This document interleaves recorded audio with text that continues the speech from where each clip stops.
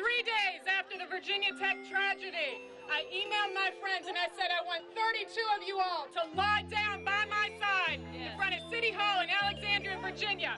We're going to lie down for three minutes to represent the amount of time it took the shooter to buy his gun. This protest triggered a protest in Bethesda, Falls Church, New York City, Arlington, Crown Heights, Brooklyn, Montclair, New Jersey, McLean, Virginia, Silver Spring, Maryland, Philadelphia, Dallas, Houston, Chicago, Detroit, and DC today. We laid down because we are outraged about our